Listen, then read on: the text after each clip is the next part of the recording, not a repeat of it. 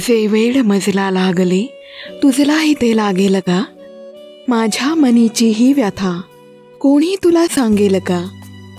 हा खेळ घटकेचा तुझा घायाळ मी पण जाहले. जे जागले माझ्या मनी चित्ती तुझ्या जागेल का? जे वेळ मजला लागले तुझलाही ते लागेल का? असं म्हणतात की जगातल्या सुंदर आणि सर्वोत्तम गोष्टी पाहिल्या जाऊ शकत नाहीत किंवा त्यांना स्पर्शही करता येत नाही. त्या फक्त फील करता येतात. त्या फक्त जाणवू शकतात. ऐका शब्दफुलेचा चौसष्टावा भाग. कथा इमोशन बॉक्स नमस्कार शब्दफुले. या आपल्या मराठी पॉडकास्टवर चौसष्टाव्या भागात मी सुजाता आपलं मनपूर्वक स्वागत करते. मित्रांनो स्पॉडीफाय ॲपवर शब्दफुलेची टॉपमोस्ट कथा आहे तुमचे अच्छा कौन है? ही सुरेश कुलकर्णी लिखित कथा ह्या संपूर्ण वर्षात टॉपवर आहे. ही कथा स्पॉडीफाय पॉडकास्टवर सर्वात जास्त ऐकली गेली. माझ्या रसिक श्रोत्यांचं मी मनापासून आभार मानते. आपलं प्रेम आणि पाठिंबा असाच मिळत राहो ही मनोमन प्रार्थना. तर मित्रांनो ऐकूया आजची कथा. कथा इमोशन बॉक्स लेखन सुरेश कुलकर्णी. आवाज सुजाता. उंची पाच फूट चार इंच. शिडशिडीत बांधा. डोळ्याच्या कोपऱ्यातून पाहण्याची सवय. केस रेशमी आणि किंचित कुरळे. कपड्यांचा आवडता रंग केशरी काळा आणि पांढरा. कांत नक्की सांगता येणार नाही पण साधारण सत्यनारायणाच्या प्रसादाला भाजलेल्या रव्यासारखा. नाव आहे नेत्रा. अन हो कुंदाच्या किंवा जाईच्या उमलू घातलेल्या कळ्यांचा गजरा ती माळते.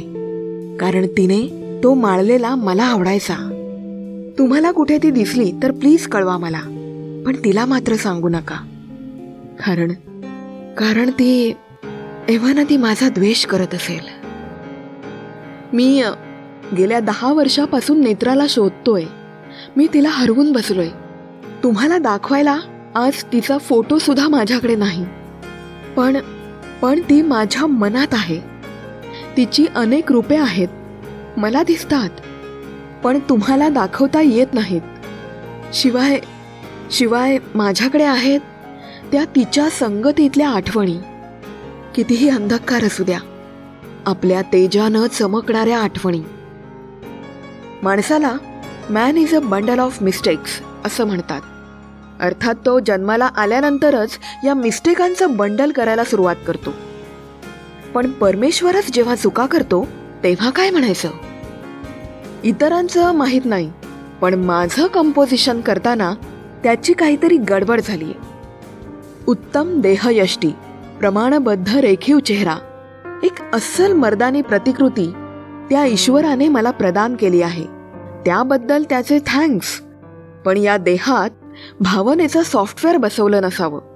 किंवा ते ॲक्टिवेट करायचं राहून गेलं असावं. थोडक्यात मी विना भावनेचा जन्मलोय. दुःख भय प्रेम द्वेष आनंद याची अनुभूती माझ्या मनाला किंवा मेंदूला होत नाही. लहान होतो तोवर मला काहीच वाटलं नाही. पण माझ्या आजूबाजूचे लोक वेडा वाकडा चेहरा करून का ओरडतात? खो खो असा विचित्र आवाज करून का हसतात? आहा असे आवाज का काढतात? हे कळायचं नाही. आणि जसा जसा मी मोठा होत गेलो तसं तसं आपल्यात काहीतरी कमी आहे हे कळू लागलं. तुला काहीच कसं वाटत नाही रे? काळीज आहे का नाही? असा कसा दगड आहेस? अरे तुझी आई मेली आहे तुला जन्म देणारी आई रड. रड? किमान लोकांना दाखवायला तरी रड? खरंच तुला हसता येत नाही का रे? असे अनंत प्रश्न लोक मला विचारू लागले. पण त्यांची उत्तरं माझ्याकडे नव्हती. विना भावनेचा माणूस म्हणजे जिवंत मुडदा जनावर किंवा एक मशीन? आज कळतंय की मी किती शापित आयुष्य जगलोय. त्या दिवशी पाऊस पडत होता. रात्रीचे आठ वाजले असावेत. मी मॅथ्सचा क्लास करून परतत होतो. छत्री नव्हती. नख शिकांत भिजलो होतो. तसाच अंगावर पाऊस घेत मी घराकडे निघालो. अचानक डोक्यावर कोणीतरी छत्री धरली. कोण असेल म्हणून मी पाहिलं. वेडा आहेस काय? किती भेसतोयस? ती आमच्या गल्लीतली नेत्रा होती. मी बारावीत तर ही अकरावीत होती. कोण? नेत्री तू? तू काय करतेस पावसात? डोंबल. तुझ्या मागेच होते. बरं झालं. तू असा एकटा भेटलास एक विचारायचं होतं तुला. विचार? तुला मला बघून काहीच वाटत नाही का? म्हणजे? म्हणजे मी कशी दिसते मी कशी बोलते मी तुला बघून कधी कधी डावाडोळा बारीक का करते मी तुझ्या आसपास घुटमळते. तू छान दिसतेस सुंदर आहेस पण त्यात मला काहीच वाटत नाही. अरे देवा ते जाऊ देत. मलाच मेलीला पुढाकार घ्यावा लागेल असं दिसते माझं ना तुझ्यावर माझं ना तुझ्यावर. आणि इतका वेळ रस्त्याला असलेले स्ट्रीट लाईट्स गपकन गेले. सर्वत्र अंधार झाला. आमचं घर तसं जवळच होतं. तिने त्या क्षणी मला घट्ट मिठी मारली. तिने माझ्या गालावर आपले ओलसर कोमट ओठ टेकवले. आपणही तिला असंच करावं का? या विचारात असतानाच तिने मला सोडून धूम ठोकली. या प्रकारानंतर आपल्याला इतरांप्रमाणे भावना जाणवत नाहीत हे लक्षात येऊ लागलं. आता या भावना आनंद प्रेम भीती काय असतं हे माहीत झालं होतं पण ते फक्त शाब्दिक. अनुभव शून्यच होता. मध्यंतरी नेत्रा बराच वेळ माझ्या जवळ बसून खूप रडली. तुला ना तुला ना माझी किंमत कळली नाही हेच खरं. लोकांना प्रेम मिळत नाही रे. मी तुझ्यावर जीव टाकते ते तुला कळत नाही. तुला तुला तुझ्या रूपाची घमेंड वाटत असावी. आणि हे खरंही आहे माझ्यापेक्षा जास्त सुंदर मुली तुला मिळतीलही. पण त्या मी होऊ शकणार नाहीत. मी हे गाव सोडून जाते पुन्हा कधीच परतणार नाही. तू तुझ्या तोंडाने बोलला नाहीस ना तरी तुझ्या कोरड्या वर्तणुकीने तू मला नेहमीच अव्हेरलंस. तुला माझा शाप आहे. तुला आयुष्यात कधीच प्रेम मिळणार नाही. हे प्रेम म्हणजे नेमकं काय असतं हे मला कधीच जाणवलं नव्हतं. उगाच दोन जीव एकत्र एकत्र राहतात आसपास घुटमळतात हातातली कामं सोडून देतात हात हातात घेतात कधी कधी चुंबन सुद्धा घेतात. यालाच का प्रेम म्हणायचं? गावाला जायचं तर जावं. त्यासाठी डोळ्यातून पाणी कशाला काढायला पाहिजे? एक दिवस मोबाईलवर एक ॲप झळकला. त्या ॲपचं नाव होतं इमोशन डोनेशन बॉक्स. मी त्याचे डिटेल्स वाचायला घेतले. ते असे आपल्याला इमोशन्स खूप तीव्रतेने जाणवत असतील किंवा जाणवतच नसतील तर हा ॲप आपल्यासाठीच आहे. नको असलेल्या भावना दान करा. हव्या असतील तर घ्या. ॲप इन्स्टॉल करा. यात दोन भाग असतील. एक इम्पोर्ट बॉक्स आणि दुसरा एक्सपोर्टिंग बॉक्स तुम्हाला नको असलेल्या इमोशन्स एक्सपोर्टिंग बॉक्समध्ये टाका. त्याचा एक ऑडिओ तयार होईल. नेटवर जो कोणी तो ऑडिओ ऐकेल त्याला त्या इमोशन्स श्रवणातून मेंदूत आणि तिथून मनात स्थिरावतील आणि त्याच्याच होतील. तुमचा एक्सपोर्ट बॉक्स इतरांसाठी इम्पोर्ट बॉक्स असेल. बॉक्समध्ये कोणती इमोशन असेल आणि कोणी डोनेट केली हे आपणास ठाऊक नसेल. आपल्या रिस्कवरती स्वीकार किंवा डिलीट करा. अर्थात तो ॲप मी इन्स्टॉल करून घेतला. इमोशन डोनेशन बॉक्स इन्स्टॉल करून घेतला आणि मी उद्ध्वस्त झालो. लवकरच माझा इम्पोर्ट बॉक्स भरून वाहू लागला. मी पहिली ऑडिओ ऐकायला घेतली. कोणीतरी आपल्या हृदयातून काहीतरी ओढून दूर जात आहे असं वाटू लागलं. खूप प्रिय वस्तूला किंवा व्यक्तीला आपण दुरावलो आहोत. ती दिसली नाही तर आपला जीव जाईल इतपत जाणीव होऊ लागली. तू परत ये असशील तशी असशील तेथून. अशी साध अंतःकरणातून निघू लागली. इमोशन बॉक्सची पहिली गिफ्ट विरह निघाली.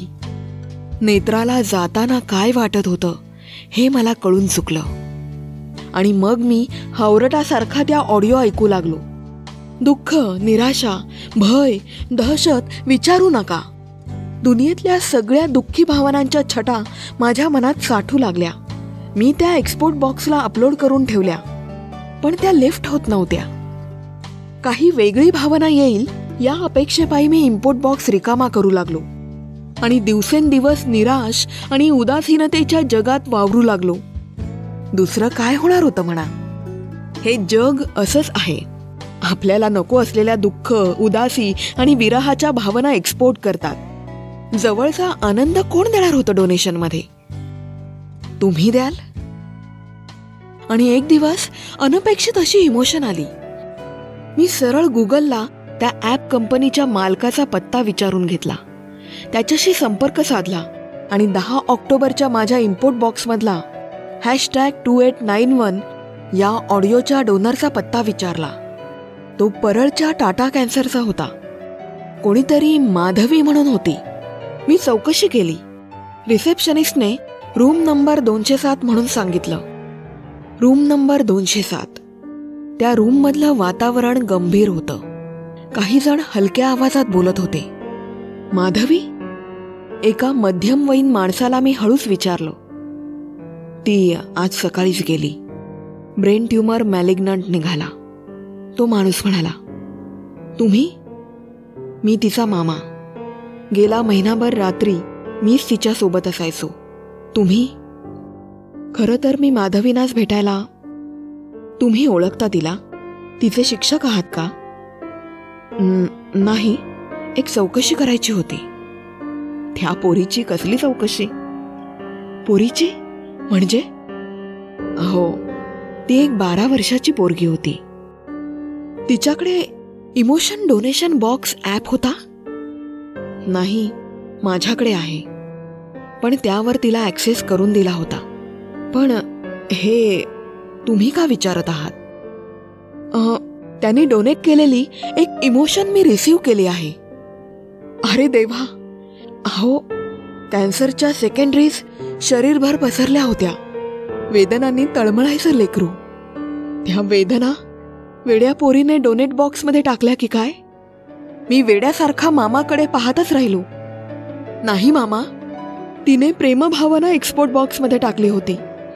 मी मी तिचा आभार मानायला आलो होतो. मी हॉस्पिटल सोडलं. दुनियेतलं असेल नसेल तितकं दुःख वेदना आणि उदासीनता मी मनात साठवून आहे. पण दुसऱ्या बाजूला ही प्रेमभावना आहे. त्यामुळे दुःखाच्या डोंगराचा त्रास वाटत नाही. कुणी करो ना करो मी माझ्याकडून इतरांवर प्रेम करतोय. या प्रेमासोबत सावलीसारखा आनंद सुद्धा जाणवतोय. आज मी नेत्राच्या शोधात आहे आणि मी तिला असाच शोधत राहीन. माझ्या अंतापर्यंत. आणि त्या पुढे सुद्धा. तुम्ही म्हणाल आता कशाला तिला हुडकतोय? ती भेटली ना की तिला फक्त एक शब्द बोलायचा आहे. मोजून एकच शब्द. सॉरी कारण न कळत का होईना तिच्या प्रेमाचा मी अपमान केलाय. ही रुखरुख मनाला लागली आहेच. आज तुमच्याशी अजून एक गोष्ट शेअर करायची आहे. तुला आयुष्यात कधीच प्रेम मिळणार नाही. हा तिने दिलेला शाप खरा होतोय. आणि हो मी एक्सपोर्ट बॉक्समध्ये आनंद आणि प्रेम या भावना एक्सपोर्ट करतोय. हल्ली या भावनांचा सरप्लस स्टॉक असतो माझ्याकडे. तुमच्याकडे आहे असा? इमोशन डोनेशन बॉक्स असेल तर तुम्ही काय शेअर कराल? समाप्त. कथा इमोशन बॉक्स लेखन सुरेश कुलकर्णी. आवाज सुजाता. थँक्यू सो मच मित्रांनो ही कथा ऐकल्याबद्दल. ही कथा तुम्हाला कशी वाटते मला नक्की कळवा. अशाच प्रकारच्या कथा तुम्ही लिहित असाल तर मला नक्की पाठवा. Shabdphule at the rate gmail dot com हा ईमेल आय डी मी शो नोट्समध्ये दिला आहे. त्याच प्रकारे शब्दफुले इंस्टाग्राम आणि फेसबुक इथे तुम्ही मला डीएम करून फीडबॅक देऊ शकता आणि आपलं साहित्य पाठवू शकता. मित्रांनो आजच्या कथेचे लेखक सुरेश कुलकर्णी हे विविध झोनरामध्ये आपलं लेखन करतात. भयकथा प्रेमकथा विनोदी हलक्या फुलक्या थरारक कथा अशा सर्व प्रकारचं लेखन ते उत्कृष्टपणे करतात. शब्दफुले पॉडकास्टवरील त्यांच्या इतर कथांचा तुम्ही आनंद घेऊ शकता. शब्दफुले पॉडकास्टवर सावज थ्रिल वेलकम रेवा भयानक स्वप्न या थरार कथा आहेत. त्याचप्रकारे तुमचे अच्छा कौन है त्याची राधा आणि राधेचा तो पासबुक या प्रेमाच्या कथा. तुम्ही जर त्या ऐकल्या नसतील तर त्यांचा आनंद घ्या आणि अभिप्राय कळवा. त्यांच्या लिखित कथांचा आनंद घेण्यासाठी डिस्क्रिप्शनमध्ये त्यांच्या ब्लॉगची लिंक दिली आहे. मित्रांनो तुम्हाला माझ्या आवाजातील कथा आवडत असतील तर मला पॉडकास्ट ॲप्सवर फॉलो करा. शब्दफुले यूट्यूब चॅनलवरही सबस्क्राईब करू शकता. तुम्हाला जर कथा आवडल्या तर लाईक करा कमेंट करा आणि हो शेअरही करा. तर नक्की ऐका शब्दफुले मराठी पॉडकास्ट बाय सुजाता. कुठे? Spotify Apple podcast Jio Saavn Gaana dot com Amazon music Wynk music Shabdphule YouTube channel आणि सर्व पॉडकास्ट प्लॅटफॉर्म्सवर तर मित्रांनो आजच्या अनोख्या इमोशनल कथेबरोबरच मी सुजाता आपला आत्तापुरता निरोप घेते. पुन्हा भेटू लवकरच. स्टे ब्लेस्ड स्टे थँक्यू धन्यवाद.